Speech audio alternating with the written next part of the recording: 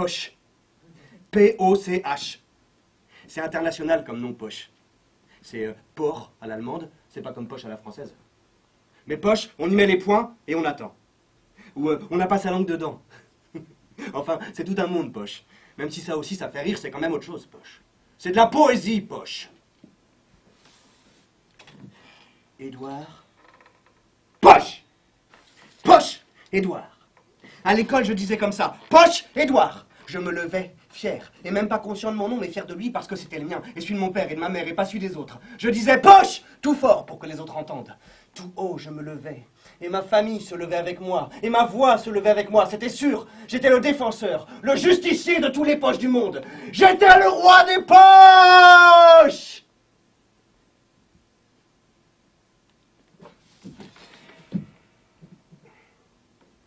À l'école, j'ai jamais été le premier. Hein, sinon, mon âge. Mon âge. Mon âge. Mon âge Mon âge, je le dis pas. Mon âge, c'est mon affaire.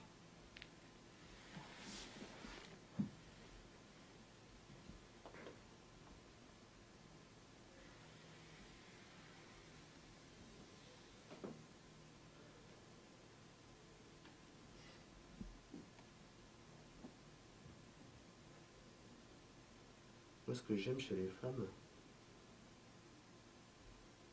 c'est les idées qu'elles se font. Et pour ça, la mienne, c'était plus ce que j'aime. La mienne, c'était une femme que j'aime.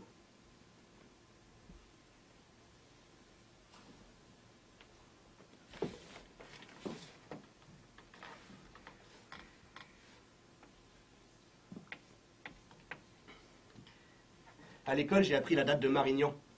Et qu'être au fond, c'est être un cancre. Alors j'étais au milieu, moi. Ni devant, ni au fond. Comme ça, j'étais ni faillot, ni cancre.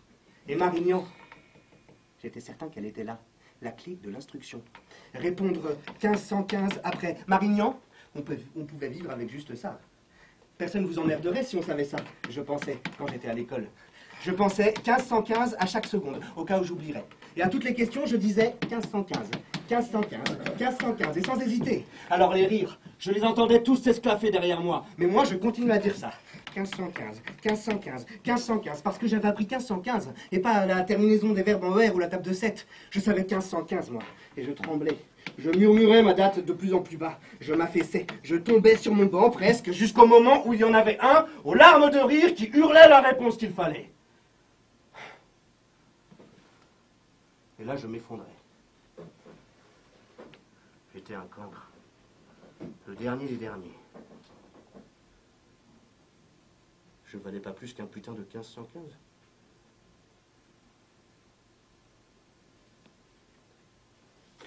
Et euh, les chiffres ne m'ont pas lâché. hein.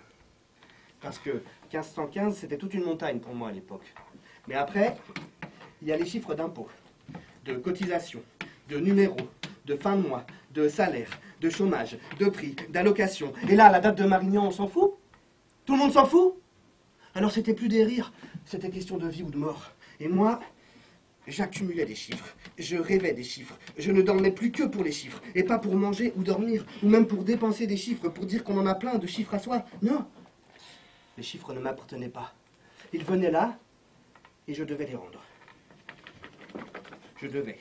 Je devais, et c'était un devoir de payer. Je payais. Toute la journée, je payais. Pour un rien, j'étais payant. Le moindre euh, geste que je faisais, c'était un chiffre que je devais. Et jamais le chiffre que j'avais pour moi pour vivre était supérieur au chiffre que je devais. Alors j'avais encore d'autres chiffres à devoir, et ainsi de suite. Et c'était toujours le même enfer. De plus en plus de chiffres s'abattaient sur le point de ma gueule, et de plus en plus de menaces et de grognements. Et c'était les rires des loups maintenant, plus celui des gamins. J'étais au milieu d'une meute. J'étais condamné à devoir toute ma vie. Et ils m'ont déchiqueté.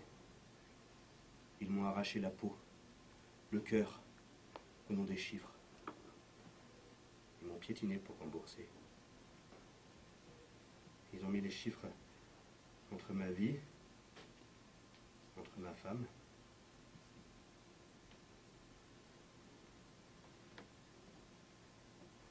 maintenant? Maintenant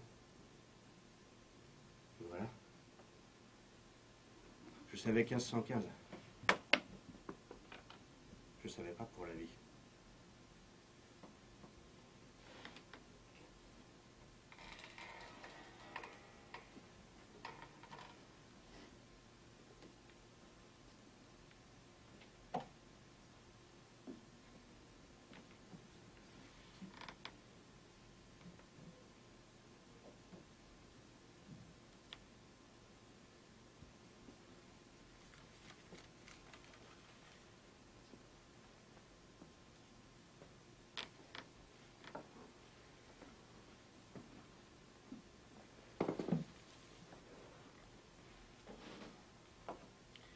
J'essaye. euh,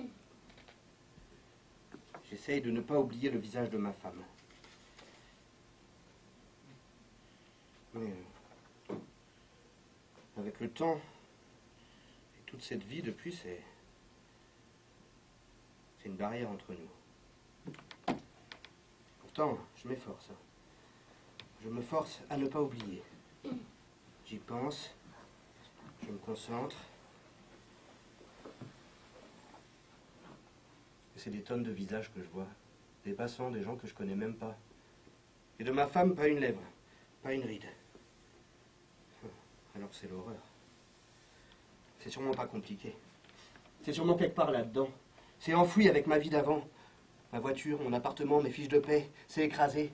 Là, derrière. C'est ça aussi l'horreur. J'oublie petit à petit tous les jours le visage, le prénom, sa peau, sa façon de sortir du lit. J'oublie les petites et les grandes choses d'elle. J'oublie sans le vouloir, hein, sans trop y faire attention. Je, l'oublie. quoi. Et aussi le respect, la politesse, la galanterie.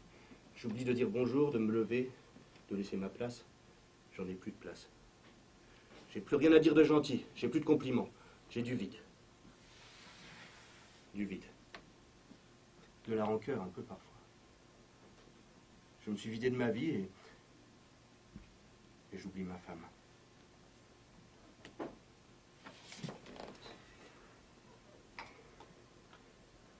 Je rencontre des chiens toute la journée. Des chiens, des pieds, des mollets, des genoux. Les gens, c'est ça, des genoux.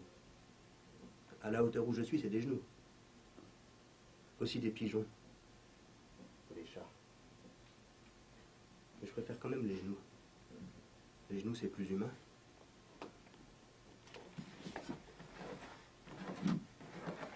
Du temps de ma vie, j'étais à l'usine. Je faisais dans la quincaillerie. Les vis, les clous, les boulons, les chevilles, les écrous. J'étais au tri. En un rien de temps, je faisais la différence. Je mettais les clous d'un côté et les vis de l'autre, jusqu'à des millions par jour. J'avais un tapis devant moi et les jours de bourre, il accélérait le salopard. Alors c'était de plus en plus rapide. Les vis, elles se confondaient avec les clous. Je triais. Je trimais, je me lançais des défis. Je voulais en faire plus que la veille. Un peu plus de vis, un peu plus de clous. J'avais un œil pour les vis, un autre pour les clous, et le tapis qui défilait devant moi, et le patron dans sa cage au milieu de l'usine qui me quittait pas des yeux. Un seul clou à côté, j'étais viré, alors il fallait pas déconner, hein. Je m'appliquais, je visais bien juste. J'avais les deux mains dans le tas de quincailles, et je ressortais des clous de la gauche, des vis à droite. Je pensais à rien. Je voyais des clous, des vis, je me demandais même pas à quoi ça pouvait servir de trier des clous et des vis. C'était comme ça, pour faire des chiffres. Je partais. Je pensais à ma femme, à une douche. Je me disais que pour les autres, c'était sûrement pareil, qu'il y avait sûrement un sens à tout ça. Et puis j'y pensais plus. J'embrassais ma femme. Les clous, les vis, j'en rêvais toutes les nuits. Mais je disais rien, je me plaignais pas. Je voulais qu'elle ait le sourire. C'était simple comme idée. Je voulais juste ça. Juste un sourire de ma femme. Ses cheveux. Elle, mettait de la laque sur ses cheveux. Elle faisait ça tous les matins. Et l'odeur, c'était la première de la journée. L'odeur dans la salle de bain. L'envie de rester là. D'abandonner le cambouis, les machines. L'odeur, elle passe au-dessus de moi dans la rue des fois. Ça me rend fou. Je me lève et je cours, j'ai l'impression que c'est elle. Et pourquoi ça serait elle maintenant? Depuis le temps, son odeur, elle s'est volatilisée avec ses jambes. Mais je cours quand même. Courir aussi, j'ai oublié. Je cours comme un nouveau-né. Je fais peur à voir quand je cours.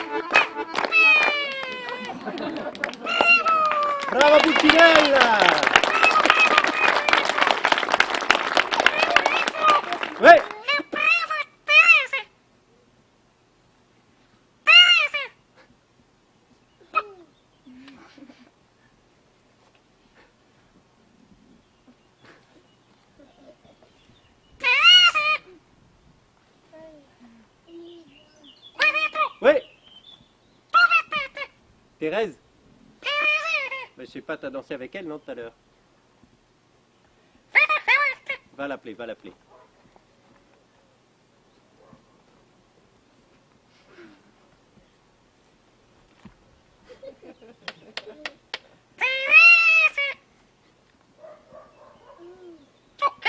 Il y a un chien, ouais.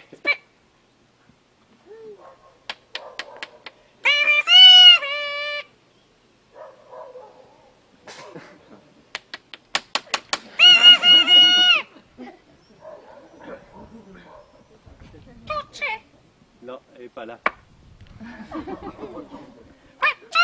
T'as une idée On fait un peu de musique Comme ça, Thérèse, elle revient. Moi, je suis prêt, ouais. Vous êtes prêts Oui.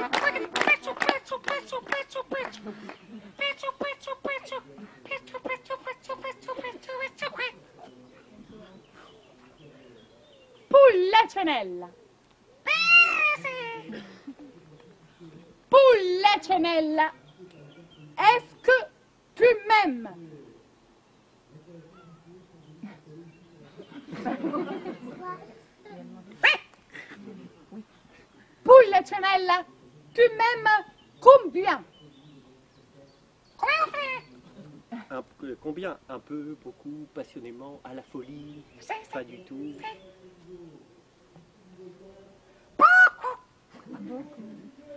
Mais beaucoup, beaucoup. Beaucoup, beaucoup, beaucoup. Beaucoup, beaucoup, beaucoup, beaucoup. Beaucoup, beaucoup, beaucoup. Alors, Pulcinella, si tu m'aimes, est-ce que tu peux me chanter une sérénade Alors, moi, je me mets au balcon chantes la sérénade Merci, Pulcinella.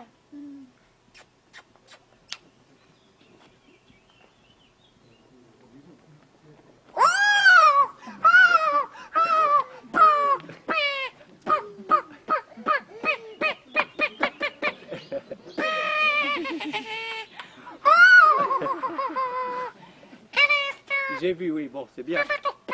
Elle t'a fait un bisou. Trois ou quatre bisous. Toi Avec la casquette. Tu sais ce que c'est une, une sérénade? Non? Tu vas pas à l'école?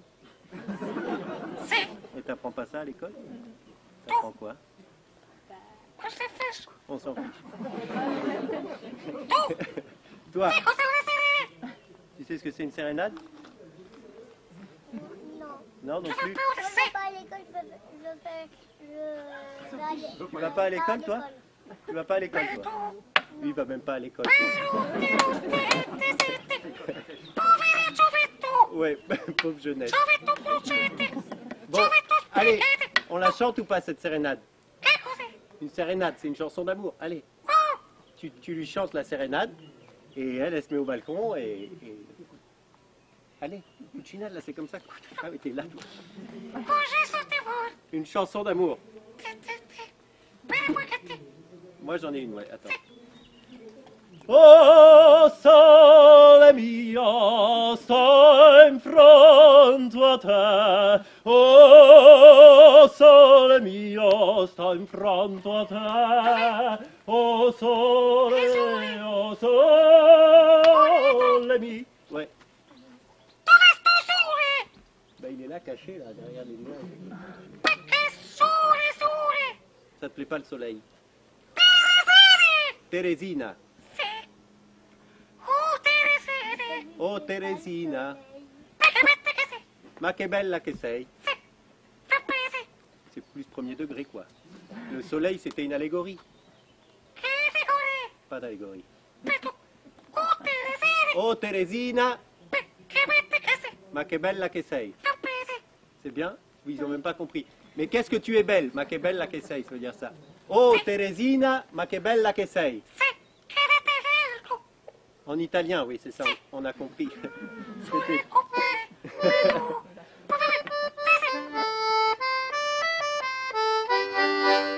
Tiens, une petite, je fais une petite mélodie avec, d'accord Oh Teresina, ma che bella che sei. C'est bien Parfait. Tout le monde ensemble.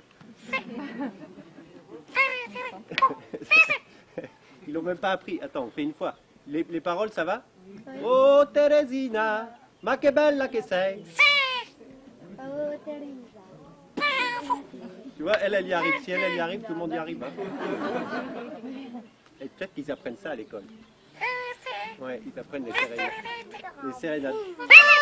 Allez, on chante. Oh Teresina, ma che bella che sei.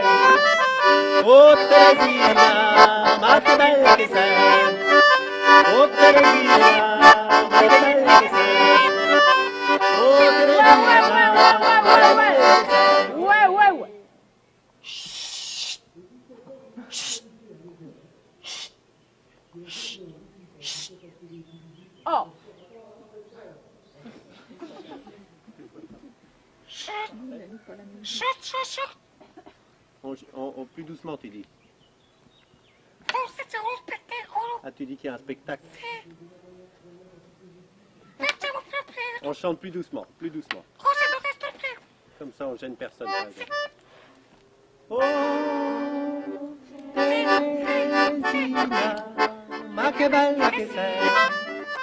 Oh, Ouais, ouais, ouais, ouais, ouais.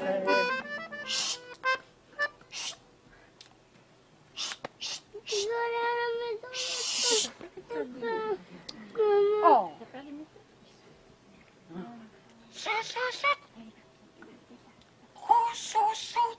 On chuchote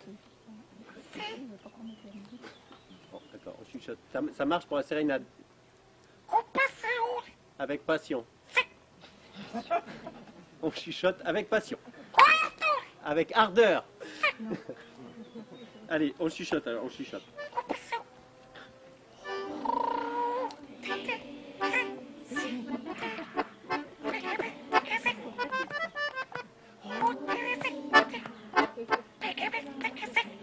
Ouais, ouais, ouais, ouais, ouais. Pour les là. Léandre, Don Pasquale, mais qu'est-ce que vous faites? On chante une sérénade pour Thérèse. Mais vous ne le savez pas que ici, ici, ici, ici, ici, ici, ici, c'est privé, on ne peut pas chanter. Oh. Bonjour, moi je m'appelle Léandre et je suis avec Anastasia. On est la compagnie Ouais Ouais Ouais. On est basé dans la Nièvre, la petite ville de Varzy. Et on a présenté ici au festival Qui Cloche, un festival de marionnettes de Pulcinella. Voilà, donc c'est Anastasia qui manipule et moi je joue l'accordéon. Euh, la compagnie, on fait, on fait des spectacles de marionnettes et on réfléchit à tout ce qui est la marionnette, euh, traditionnelle. Qu'est-ce que ça veut dire aujourd'hui de faire de la marionnette traditionnelle? Ce spectacle, on l'a créé il y a cinq ans et on l'a repris sur des canevas. Du coup, c'est un spectacle qui, qui tourne depuis au moins 500 ans, que nous, on, on continue de faire vivre. Et bah, j'ai fait toutes les voix des personnages. Chaque personnage a une voix un peu différente, mais pas vraiment très différente, parce qu'il faut porter la voix très loin, comme on est en plein air, on n'est pas amplifié. Et donc, c'est surtout le rythme qui fait le personnage, le rythme de la voix.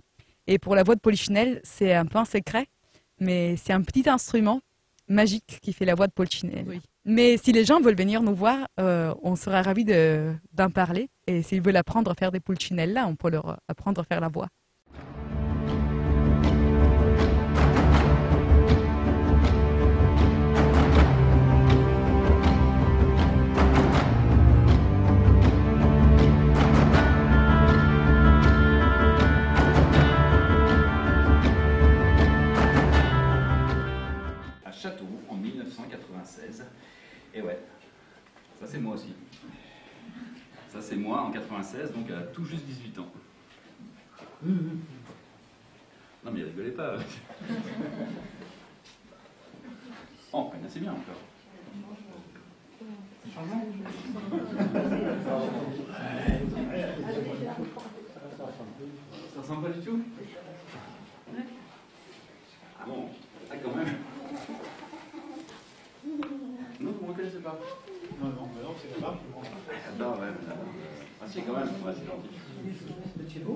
Si, on te reconnaît. Ah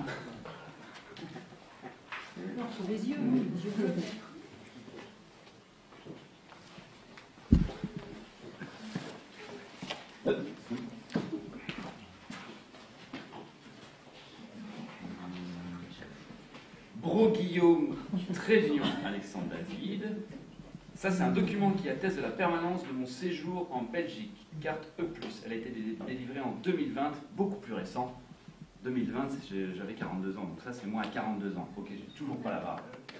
Mais euh, j'ai un peu la même capillarité. Hein, ouais. Non, non, ça va, il n'y a pas de souci. hein. Je passe plus rapide parce que là, ça, ça me ressemble plus.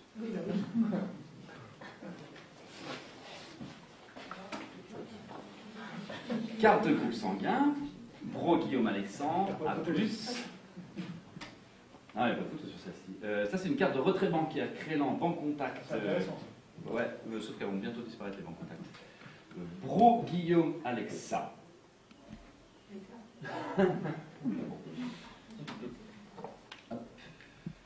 Ça, c'est une autre carte de retrait bancaire, intéressante aussi, transparente. G. Bro.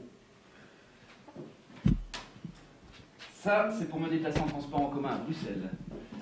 Euh, ça, c'est pour me déplacer en transport quand je vais en Ile-de-France. Euh, Qu'est-ce qu'il y a d'autre Euh, Un petit mot. Bonjour papa. Un dollar. Aurélie, ça c'est la carte de ma psy.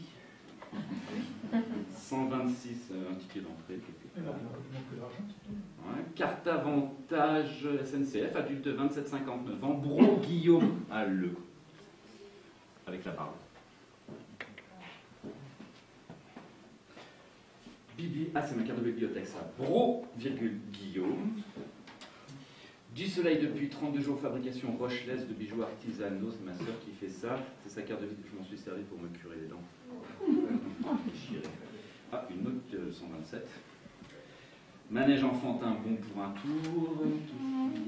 Ah, je vais faire mes courses à Casino, Carrefour Market, encore Carrefour Market, mon numéro de téléphone, Super encore Carrefour Express, Picard et moi, et Castorama.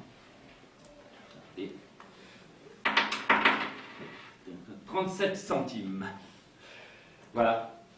C'est moi, ça. Guillaume Alexandre. Ou Guillaume, trait Alexandre, virgule, David, Bro. Ou Guillaume, sans trait d'union, Alexandre, sans virgule, David, Bro. Ou Guillaume, Alexa. Ou Guillaume, ou même tout simplement G. Ça, c'est pour la partie administrative, parce que dans ma famille aussi, j'ai des diminutifs avec ce prénom beaucoup trop long. Mon père, il m'appelle Géa. Mes sœurs, Guigui. Et puis mes amis, il y a eu Guy Alex, Galex, Scotch. C'est ma mère qui a choisi ce prénom. Je vous raconte, quand elle était jeune, ma mère, elle voulait toujours faire, plus qu'une de ses amies qui se faisait appeler la baronne. Et comme cette baronne, elle venait d'avoir un garçon qu'elle avait appelé Charles-Édouard, 14 lettres, hein, quand même, pas mal. Et ben ma mère m'appelle Guillaume Alexandre. 18 lettres. 4 lettres de plus que Charles-Édouard. C'est tout. Ah, je vous jure. hein. Des histoires de famille. La famille. La famille, la famille, la famille, la...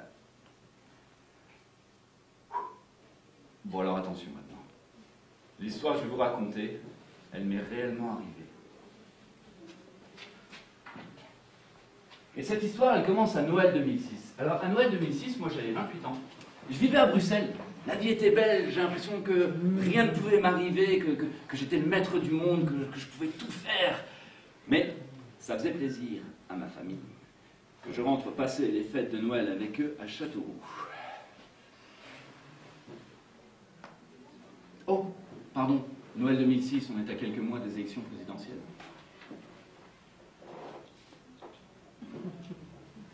Mon père, qui me dit que bien sûr qu'il faut aller voter parce que si on vote pas, il faudra pas venir se plaindre après. Mon oncle,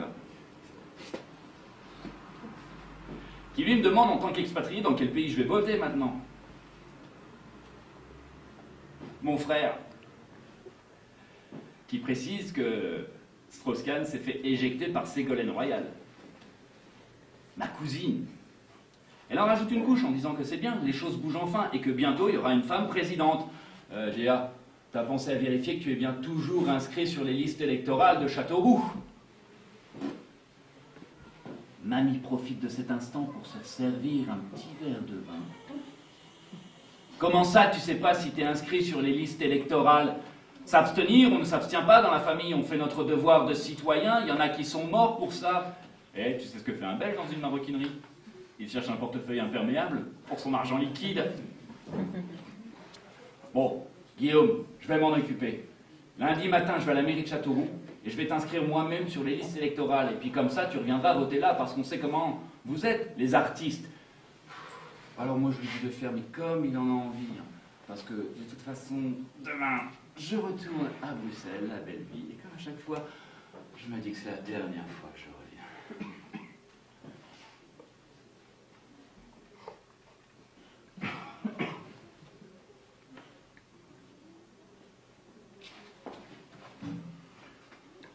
Mhm. Ah. Mhm. Mhm. Mhm.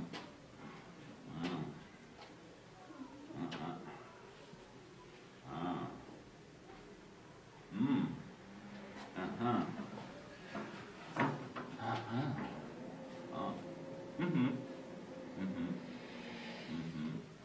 Ah, ah. Ah, ah. Mhm. Mhm. C'est mon père. Il me dit qu'il n'a pas réussi à m'inscrire sur les listes électorales parce que je suis déchu de mes droits civiques. Et il m'apprend que j'ai un casier judiciaire, de catégorie 1, le plus grave apparemment. Et il me demande ce que j'ai fait pour avoir un casier judiciaire. Euh, papa, tu sais bien que j'ai jamais rien fait, moi. Sauf peut-être quand je travaillais dans l'éducation nationale. J'ai fait plein de photocopies pour mon compte perso. À moins que ce soit pour toutes les fois où j'ai pris le train sans acheter de billets. Ou pour les fausses quittances de loyer que j'ai réalisées pour bénéficier des APL. Ou alors c'est pour les deux ans pendant lesquels j'ai arnaqué le RSA. Bon. En fait, euh, pour savoir ce dont on m'accuse vraiment, j'ai pas le choix. Je dois retourner à Châteauroux, au tribunal. Châteauroux, c'est la ville de mon adolescence. C'est dans la région centre, euh, le département de l'Indre, 36, euh, autrement appelé le Berry. C'est en plein milieu de la diagonale du vide. La densité de la population y est trois fois moins dense que la moyenne nationale. Mais ville pionnière en matière de gratuité des transports en commun. Les GI ont été très présents. D'ailleurs, ils ont laissé un aéroport qui plus tard a servi aux entraînements du Concorde. Il y a une équipe de football, la Berrichonne. Le week-end, ça chasse. La couleur préférée est le bleu. Bleu, bleu. La jeunesse euh, trouve des raisons d'y rester. La capitale est accessible en moins de deux heures et demie, sur laquelle on retrouve l'Escale Village, le plus grand resto routier de France qui vous accueille 24 heures sur 24 et 365 jours par an. Et enfin, Gérard Depardieu, Comédien comme moi, il y est né. Tiens, Gérard, toi, tu dois savoir où se trouve le tribunal.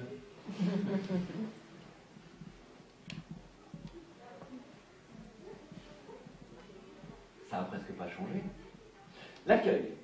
Là, on me dirige vers la salle d'attente numéro 2. Là, la secrétaire m'indique que le magistrat avec qui j'ai rendez-vous n'est pas dans son bureau parce qu'il est en vacances et que seul un magistrat peut donner lecture d'un casier judiciaire de catégorie 1 comme le mien. J'explique que je vis à l'étranger et qu'en fait j'aimerais beaucoup maintenant savoir ce dont on m'accuse réellement. Et là, la secrétaire va braver la loi en décidant de me donner elle-même lecture de mon casier judiciaire. Elle va donc se rendre dans la salle où sont conservés tous les dossiers. Et elle revient avec le mien.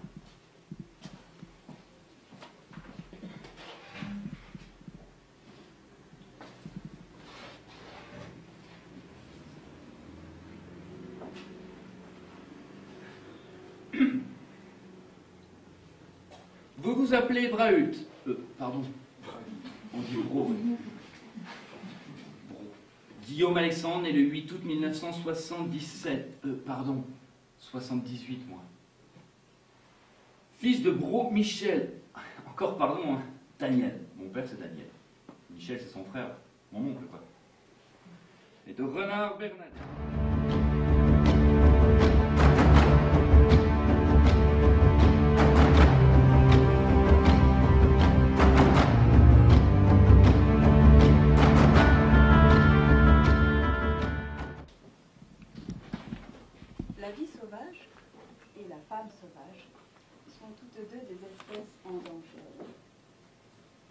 Pas un hasard si les étendues sauvages de notre planète disparaissent en même temps que la compréhension de notre nature sauvage profonde.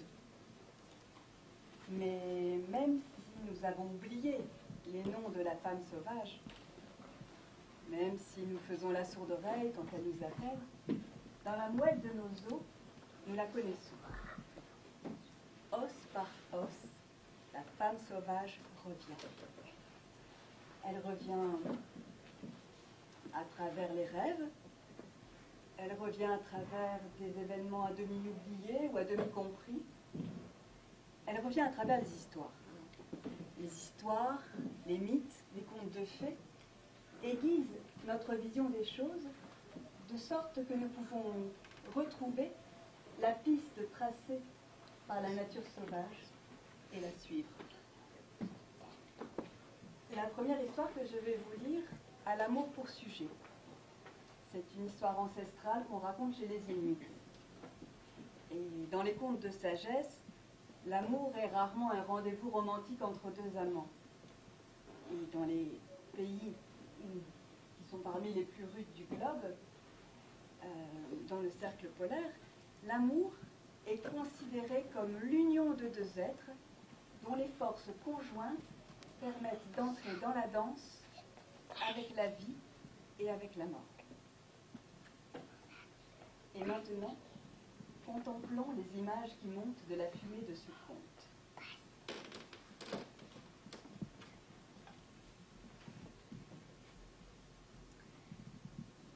Elle avait fait quelque chose que son père désapprouvait, mais dont personne ne se souvenait. Toujours est-il que son père l'avait traînée jusqu'à la falaise et précipitée dans la mer. Les poissons avaient mangé sa chair, dévoré ses yeux, et elle gisait sous les eaux, son squelette ballotté par les courants. Un jour, arriva un pêcheur. En fait, ils étaient plus d'un à pêcher à cet endroit, mais celui-ci avait été entraîné bien loin de chez lui, et il ignorait que les pêcheurs des environs se tenaient à l'écart de cette crique, disant qu'elle était hantée. Or, voilà que l'hameçon du pêcheur vint à se prendre dans les eaux de la cage thoracique de la femme squelette. Oh oh pensa le pêcheur, je tiens là une grosse prise. Il imaginait déjà le nombre de personnes que ce magnifique poisson allait nourrir. Combien de temps il durerait Combien de temps surtout il lui permettrait de ne plus retourner pêcher Alors tandis qu'il se bagarrait avec ce poids énorme, la mer se mit à bouillonner, secouant son kayak comme un fétu de paille. Car celle qui était sous la surface se débattait pour essayer de se libérer. Et plus elle luttait, plus elle s'emmêlait dans la ligne. Elle avait beau faire, elle était inexorablement tirée vers le haut, accrochée par les côtes. Le pêcheur s'était retourné pour rassembler son filet. Il ne vit donc pas le crâne chauve apparaître au-dessus des vagues. Il ne vit pas non plus les crustacés sur les vieilles dents d'ivoire, ni les petites créatures coralliennes qui scintillaient dans les orbites. Quand il se retourna avec son filet, le corps de la femme squelette tout entier avait émergé, était suspendu à l'extrémité de son kayak par ses longues dents de devant. L'homme hurla. De terreur, son cœur fit un bond et ses yeux allèrent se réfugier à l'arrière de sa tête, tandis que ses oreilles devenaient cramoisies. Il lui asséna un coup de pagaie et se mit à pagailler comme un fou vers le rivage. Il ne s'était pas rendu compte qu'elle était entortillée dans la ligne. Aussi semblait-elle le pourchasser debout sur ses pieds. Il était de plus en plus terrifié. Il avait beau faire des zigzags, elle suivait, et son haleine dégageait des nuages de vapeur au-dessus de l'eau.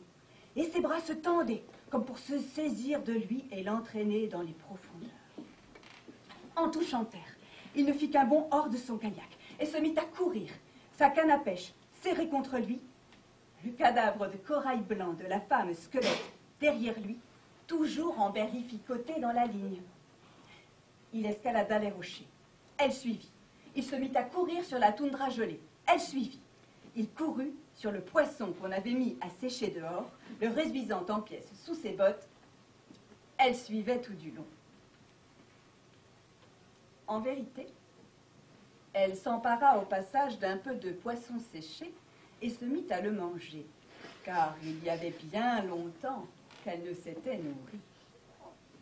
Enfin, l'homme atteignit son igloo, plongea dans le tunnel et rentra à l'intérieur à quatre pattes, hors d'haleine. Il resta là, à hoqueter dans l'obscurité, le cœur battant la chamade. Enfin, en sécurité. Oh oui, oh oui, grâce au Dieu. Euh, Corbeau, oh oui, merci Corbeau. Et Sedna, la toute bienveillante. Merci, en sécurité. Enfin.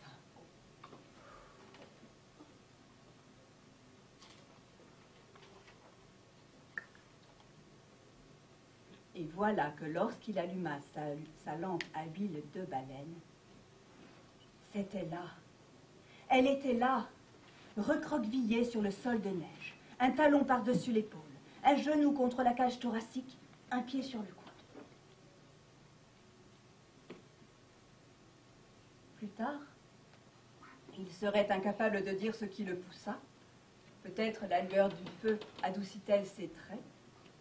Toujours est-il que la respiration du pêcheur se fit plus attentive, que doucement il tendit ses mains rudes et avec les mots d'une mère à son enfant, il se mit à désenchevêtrer la femme squelette de la ligne. Là, là.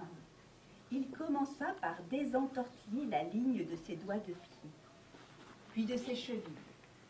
Là, là. Il désentortilla ses mollets et ses genoux, ses cuisses et son bassin.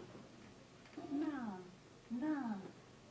Il désentortilla sa cage thoracique. Là. Et il travailla jusqu'à la nuit, jusqu'à ce que les os de la femme squelette soient dans l'ordre qui convenait. Puis, il la vêtit de fourrure pour lui tenir chaud, et prit son silex et fit du feu. Tout en huilant le bois précieux de sa canne à pêche et en moulinant sa ligne, il la regardait. Elle, dans ses fourrures, ne disait mot. Elle n'osait pas, de peur qu'il s'empare d'elle, la jette sur les rochers et la mette en pièces. L'homme commença à somnoler. Il se glissa sous des pots et bientôt se mit à rêver. Or, parfois, dans le sommeil des humains, une larme vient à perler à leurs paupières. Nous ignorons quelle sorte de rêve en est la cause, mais ce doit être un rêve triste, ou bien un rêve où s'exprime un désir. C'est ce qui arriva pour cet homme.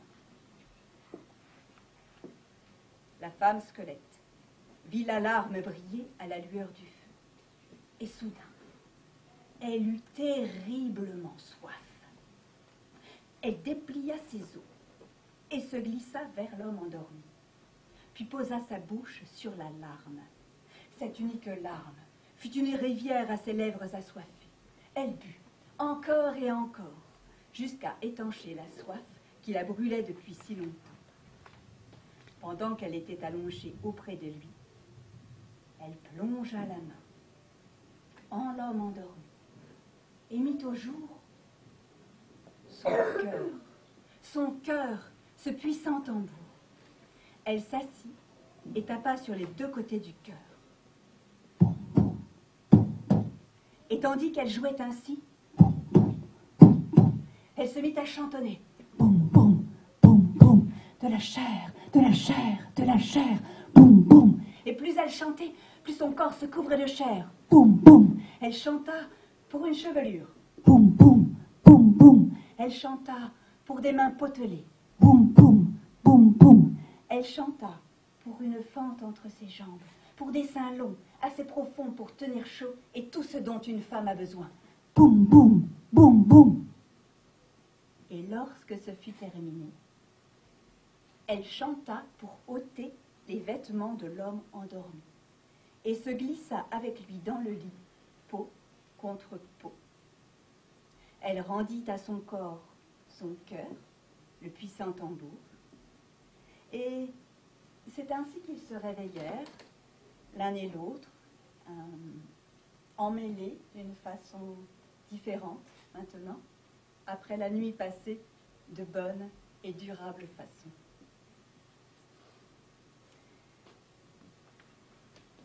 Les gens qui ont oublié ce qui avait causé son malheur au départ racontent qu'elle s'en alla avec le pêcheur et qu'ils furent largement nourris par toutes les créatures de la mer qu'elle avait connues durant son séjour sous l'eau. Cette histoire, disent-ils, est vraie et n'ont rien à ajouter.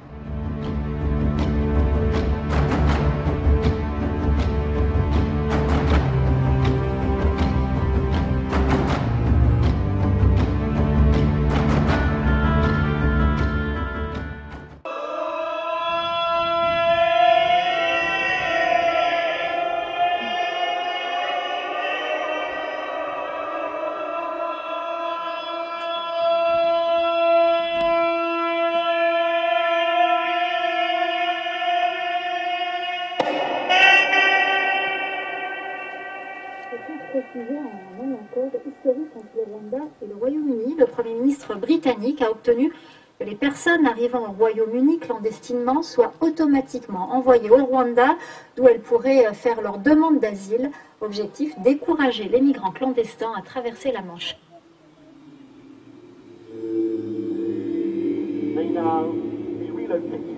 Rwanda.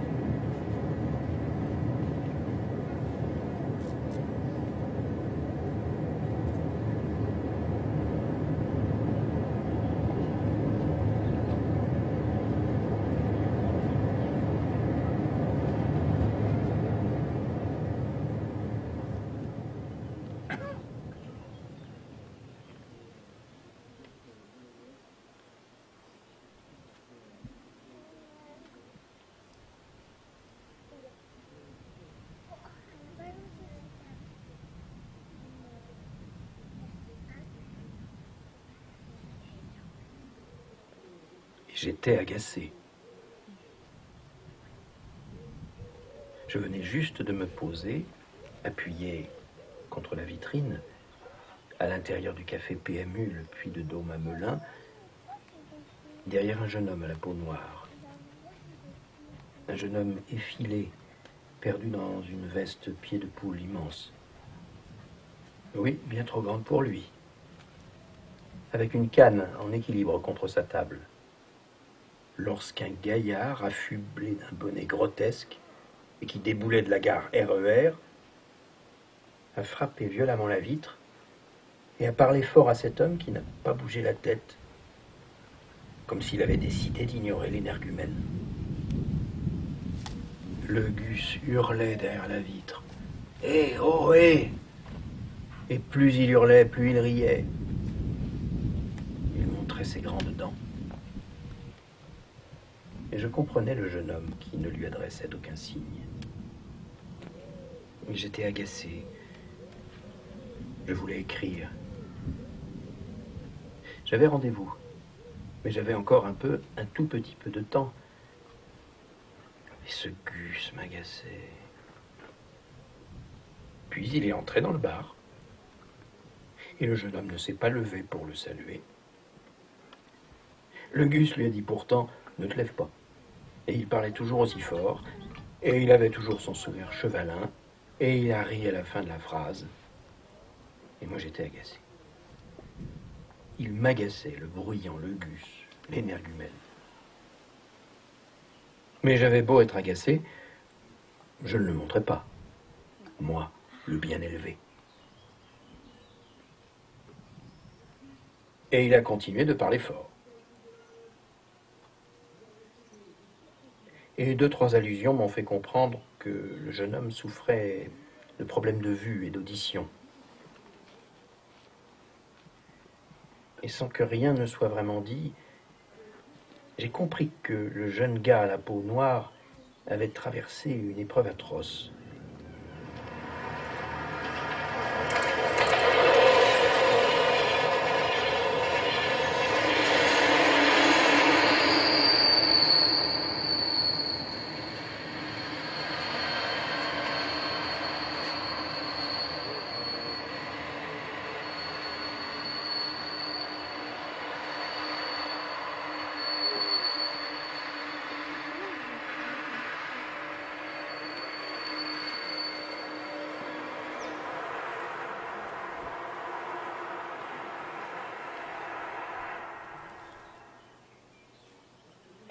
Tu me voyais pas Tu m'entendais pas demandait le Gus au sourire. Non, a répondu l'autre. J'ai encore des petits soucis pour ça. Eh Mais ça va mieux, tu peux te lever. Si je me lève pas, je tombe. Hé, hé, tu sais que tu peux compter sur moi, merde. Je voulais juste te dire ça, mec. Oui, je sais, tu sais. Merci. Tu prends quelque chose? Non, non, déconne. Je retourne devant la gare. Il y a un train qui va pas tarder. Si je peux me faire deux, trois balles, deux, trois balles, il a répété en souriant. Et il est reparti comme une bourrasque, avec son rire, ses grandes dents.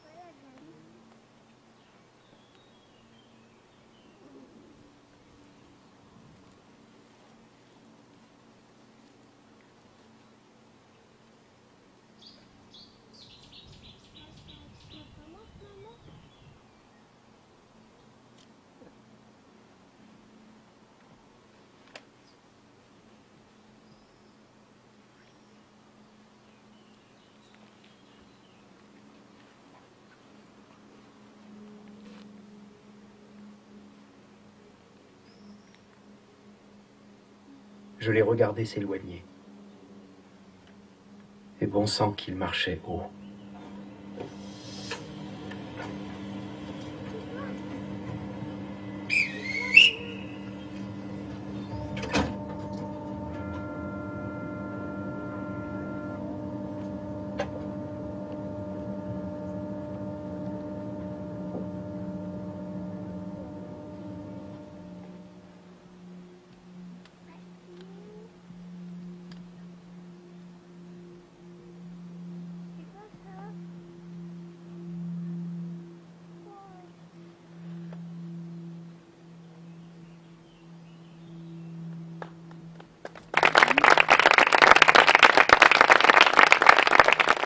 Je m'appelle Narges Majd. Euh, je suis la directrice artistique de la compagnie Papier Théâtre. Le spectacle s'appelle Agacé et c'est un premier d'une série euh, dans ce que vous voyez ici qui s'appelle Le Castellet en verdure. Hum, L'idée, c'est de sortir les poèmes euh, dans l'espace public, de les mettre en scène dans l'espace public. Et Agacé le poème, l'un des poèmes de Fred Poujard euh, dans son livre Via Ferrata.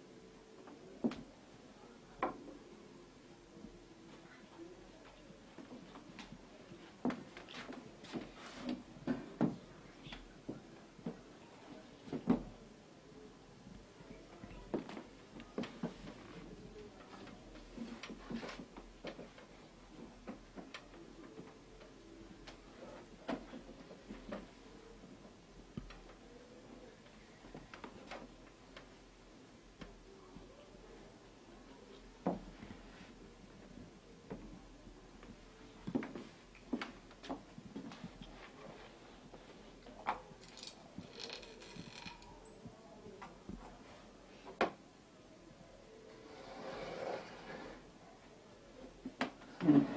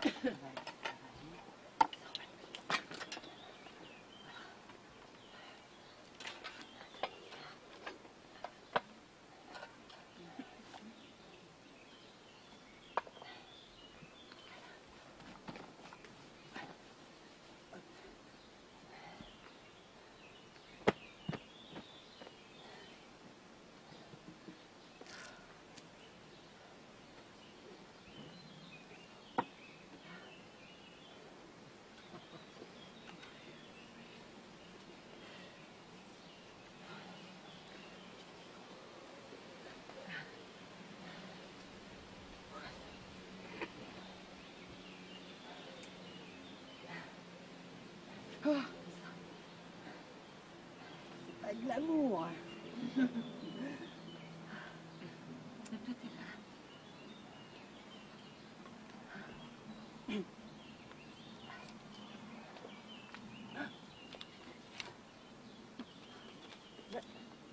Vous avez pas entendu? Ah, ah, Si, un gros crack.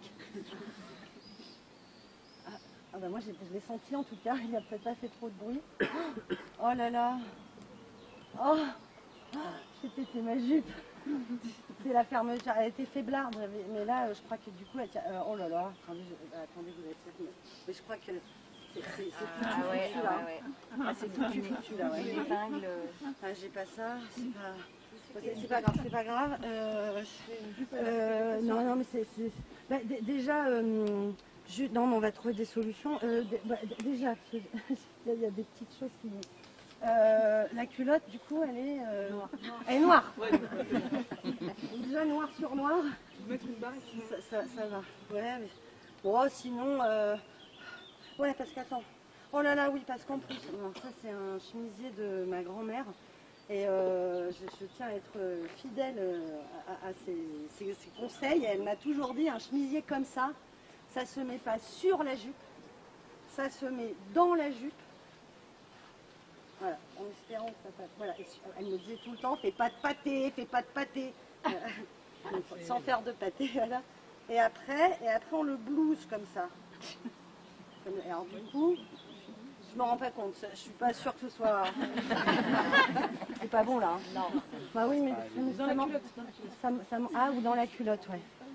Oui. Ça va coller, hein. Il fait chaud quand même. Bon, après, euh, je peux aussi faire euh, des, des petites marches comme ça. euh, c'est assez gracieux, je trouve, vous voyez. S'il arrive, hein, je sais pas. ah, et là, si j'ai besoin de me tourner, bah voilà, hein, quelque chose comme ça. Vous voyez hop, hop, on enchaîne avec le pas de côté. Ouais, et puis, installe-toi, je t'en prie. Bah non, il n'y a plus de chaise. Tout va mal. Tout va mal. Euh, bah d'ailleurs, quelle heure il est? Quelle heure il est? Bah ça y est, il est quart. Hein. Il m'avait dit euh, 15h30. J'ai l'impression que ça pue un peu, non? Bah Oui, parce que euh, je dis il comme ça, comme si vous le connaissiez. euh, normalement, je suis avec Régis. Normalement, on est deux en fait. Et là, euh, bah, je sais pas, il m'a planté, je dirais. voilà, on peut appeler ça comme ça. Oh. Vous savez, euh, vous l'avez peut-être vu, vous, euh, Régis, c'est un grand brun, euh, blond. Bon, ça, ça dépend de la... Enfin, en tout cas, il est plutôt... Euh... bon, bah, on peut pas le louper, quoi. Et, et, je sais pas, peut-être quelqu'un l'aurait... Fran- Franchement, on peut pas le louper. Madame, peut-être, vous l'avez vu. C'est un beau garçon. Ah, c'est un beau garçon, ouais. Moi j'en ai vu plein. Ah ouais À mon avis, vous l'avez croisé, parce que vous avez ce petit sourire béat. que- parce qu'au début, il fait ça. Après, on se lasse. Hein. La preuve. Je sais pas si c'est lui ou moi qui se lasse le plus. Enfin, en tout cas, non, ça se trouve, vous l'avez vu. Ah ouais, bah, vous ne l'avez pas rattrapé. Vous l'auriez pas vu Vous avez aussi un sourire un peu au bar, je sais pas, j'ai l'impression que vous êtes tous en train de prendre des bières entre deux spectacles. Il traîne au bar des fois, c'est vrai. Il, il est un peu. Non Personne Pardon? Derrière ou devant euh, euh, Il serait plutôt pilier. euh. ça, ça dépend des, des fois. mais bon. J'ai l'impression que ça devrait pas être. Euh, c'est. Euh, ça va pas être pareil hein, sans lui. Oh là là. Ah, il y a même une phrase là qui est en train d'arriver dans ma tête et c'était euh, Mais sans Régis, je ne peux rien faire. C'est horrible de dire des trucs comme ça. Non, mais c'est d'un réducteur pour moi. Vous trouvez pas? C'est vraiment, euh, c'est pas se ménager, franchement. hein. Comme s'il est indispensable. Qui est indispensable hein? Personne, exactement, surtout pas Régis. Comme si, euh, comme si je pouvais pas me sans lui. euh, tranquille, peinarde, toute seule. Et en plus, je suis pas toute seule, ça. Mais oui, j'y pense. Je suis sûre que parmi vous, il y aurait des régis potentiels.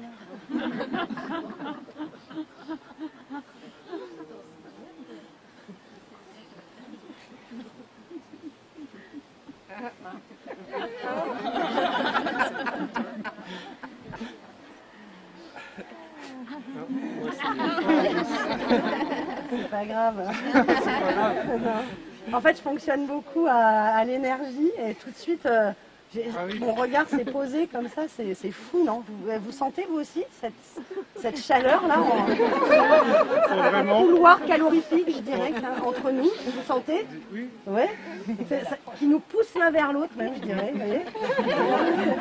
Bon, bah, pour l'instant, c'est plus moi vers vous, mais euh, tout peut évoluer. hein. Moi, j'y crois beaucoup à ça. Ouais.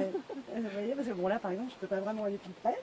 Et justement, comme comme il y a cette espèce d'élasticité entre nous, hop, du coup, du coup, là, je recule. Ah ouais, mais oui, mais ça marche pas toujours euh, vite avec moi, surtout. voilà, on recommence. Euh, alors donc euh, voilà, là je ne peux pas aller plus près. Et donc on est naturellement attirés l'un vers l'autre. Et là du coup je recule et voilà ouais. Oui, oui. Bah, on a juste, euh, c'est juste. un- voilà. On, on- on a juste deux, trois petites choses à faire euh, su- sur la table, tous les deux. Euh, non, passe. Non. Je m'en bouge. Euh, non, alors, ah, là, il regarde derrière. Il est où, il est où? Il est où? Non, alors, euh, mais, euh, Je peux te tutoyer? Oui, oui. Super. C'est bien, on faut brûler un peu. Euh, pardon. Attends, je, je range ça, hein, il n'appellera plus maintenant. Et donc, euh, alors, en fait, c'est- très simple, parce que euh, c'est un truc que j'aime bien faire à deux. Et euh, j'ai pris des petites habitudes culinaires. Et en fait, euh, j'ai réalisé que pour avoir un, un ensemble à la fois euh, organisé et esthétique, c'était super d'avoir les ingrédients sous forme de petites montagnes. Et, euh, et, euh, j'ai remarqué que pour faire des, des jolies montagnes, eh ben, c'était bien de passer l'ingrédient dans l'entonnoir. Dans les entonnoirs. Ouais. C'est c'est assez créatif. Bon, après, on, on peut se dire que j'ai du temps à perdre, mais, en- mais en fait, non, voilà. Bah, euh, écoute, ouais, c'est parce que c'est vrai Si vous que. dites que ça fonctionne. Ouais, voilà. Donc, euh, en fait, euh, bon, alors moi, j'ai un côté précis. hein, donc, euh, donc, ici, vraiment, là, Ouais. dans cette zone-là, toi, tu fais la tienne, voilà. Mhm. Et puis moi, euh, j'en fais une ici, tu vois, comme ça, ensemble, on fait ça ensemble. quoi. On fait des petites montagnes ensemble. Mais c'est pas une course, hein, c'est juste. euh, voilà, tranquille, bon, c'est un petit, c'est un.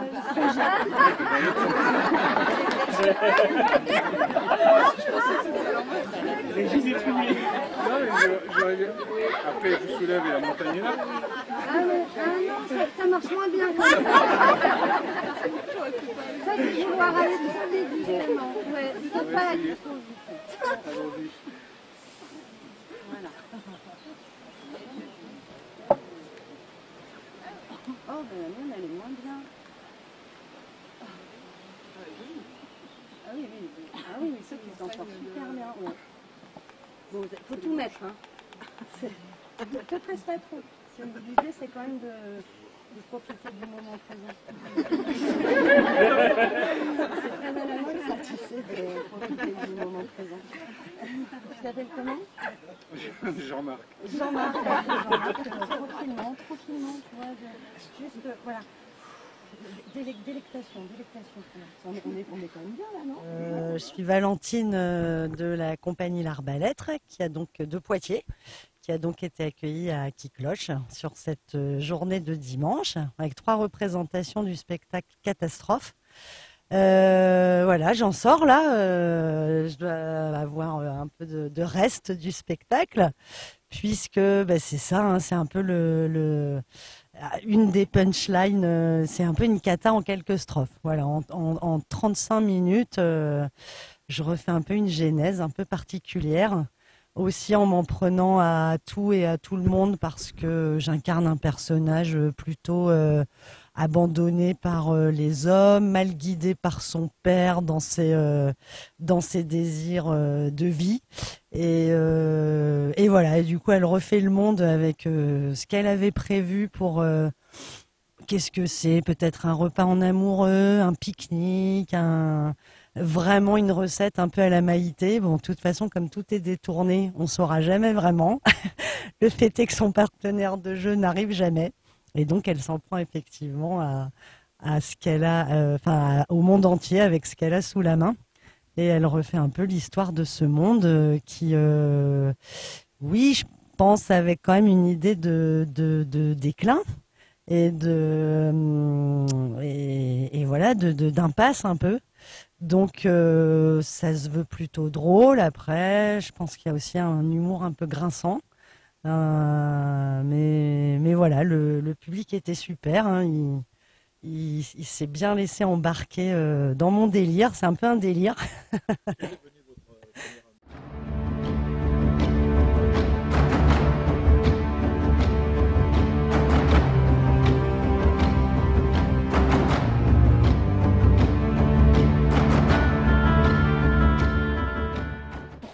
Il n'y a que des pauvres dans ma famille.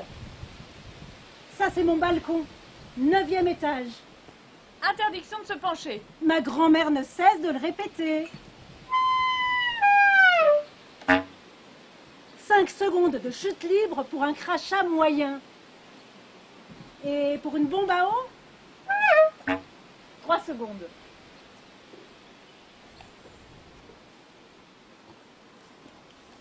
Vous avez vu la porte là-bas? C'est la porte de l'ancienne prison, la petite roquette. C'était la prison des femmes. Des voleuses. Des incendiaires.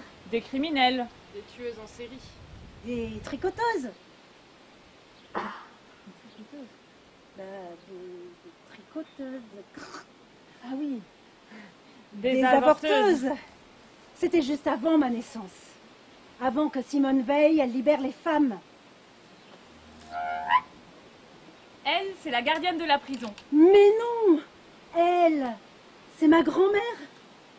Ma grand-mère s'appelle Jeanne, mais on l'appelle Mamie Jeanne. Ma tante s'appelle Christiane. Et on l'appelle Cri-Cri. Ma mère s'appelle Françoise. Et on l'appelle Fanchon. Elles ont toutes des faux noms. Et moi, je vis avec les trois. Mamie Jeanne s'occupe de tout. La journée, elle organise nos vies. Alors, euh, Fanchon, toi, tu iras là, Cri-Cri et Clara. La nuit, elle est infirmière à l'hôpital Trousseau. Le soir, elle boit un cognac, enfile son par-dessus et file aider les enfants malades à s'endormir.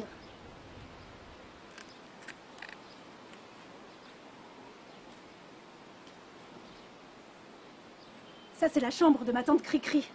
La chambre bleue. Je la surnomme la chambre du bon Dieu. Sur chaque parcelle de mur, elle a suspendu des croix et des petits Jésus. Aïe Je n'ai pas le droit d'y toucher. Ma mère n'aime pas que j'y passe du temps. Moi, j'aime bien.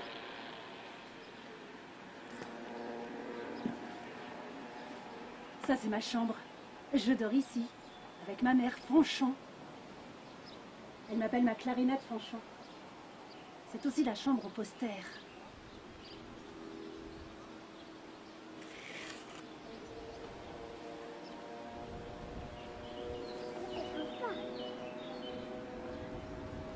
C'est un Chinois devant un drapeau rouge avec des étoiles. C'est peut-être lui, mon père. Il est brun comme moi. Il a les yeux en amande, comme moi.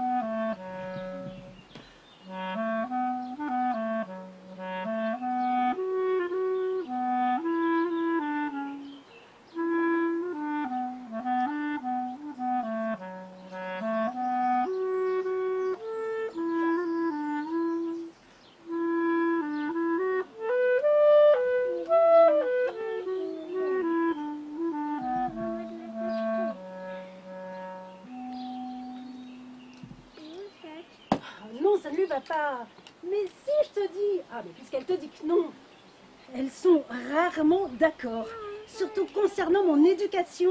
Quand l'une veut que je sois en jaune, l'autre m'habille en rouge. Mamie Jeanne même les cheveux bien coiffés. Fanchon me préfère les cheveux lâchés. Tante Cricri m'oblige à me tenir droite. Mamie Jeanne rattache mes boutons. Pierre et Paul, ça ne se fait pas. Tante Cricri m'apprend à marcher sur deux lignes bien parallèles. Fanchon découvre que j'ai une jambe plus courte que l'autre. Mamie Jeanne m'achète des chaussures orthopédiques et découvre qu'en plus je ne vois pas bien. Elle reproche à ma mère de ne pas avoir remarqué. Elle me conduise chez l'ophtalmologiste.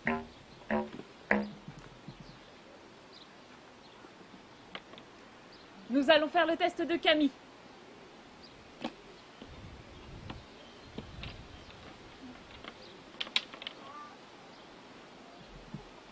C'est que je suis astigmate et hypermétrope. Euh, oui, c'est-à-dire que j'ai un défaut dans les yeux qui provoque une déformation de la vision qui résulte d'une courbure euh, inégale de la cornée ou plus rarement du cristallin ou de l'ensemble du globe oculaire. Euh, je vois flou de loin, encore plus flou de près.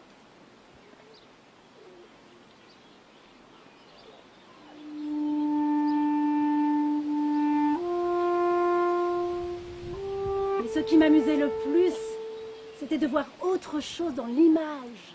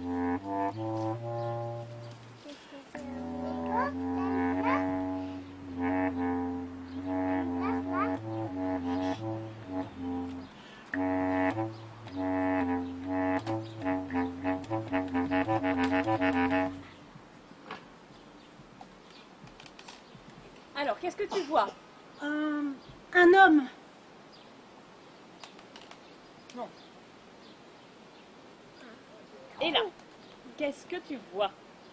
Papa Non. Un œil.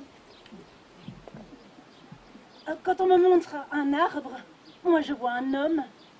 Je vois mon père. Il est brun comme moi.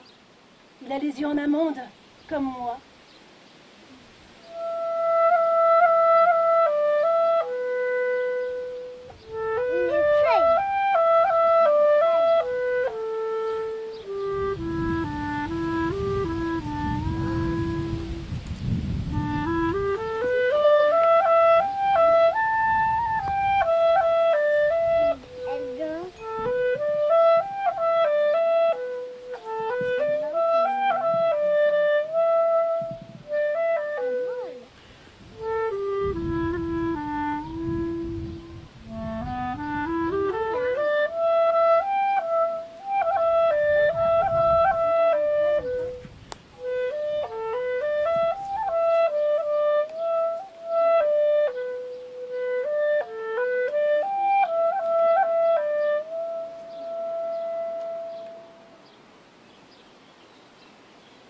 N'avais pas de papa, mais je n'aurais pas su dire si cela me manquait. Clara? Allez, Clara. Bon, Clara, allez, dépêche-toi, on y va, là. Ma mère me tire, me traîne, me trimballe partout avec elle. Dans les rues, sur les parcs, dans les parcs, euh, euh, à la sortie du métro, dans les cafés, dans les salles de réunion, à la mutualité parce qu'elle doit discuter avec tous les travailleurs. Le matin, avant l'école, on va coller des affiches avec des inconnus. Eux aussi ont des faux noms. Rêve général Rêve général L'utopie est morte Vive l'utopie Prolétaires de tout pays, Unissons-nous Les femmes dans la rue, pas dans la cuisine Les femmes dans la rue, pas dans la cuisine Le dimanche au marché, on vend le journal, on distribue des tracts. Venez rejoindre Lutte ouvrière pour défendre les intérêts de la classe ouvrière et lutter contre les capitalistes bourgeois. Nous sommes la base Nous, sommes le peuple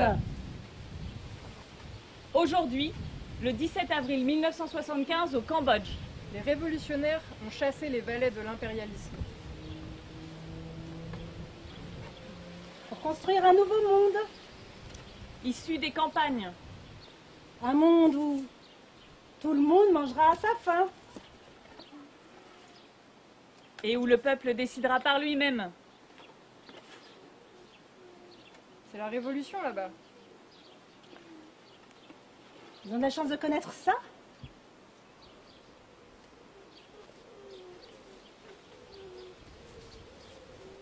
Ils parlent de la révolution qui se prépare à arriver. Mais moi, je vois rien arriver du tout. Ni révolution, ni papa. Non, toujours pas de papa. Par contre, des papas de passage, il y en a eu.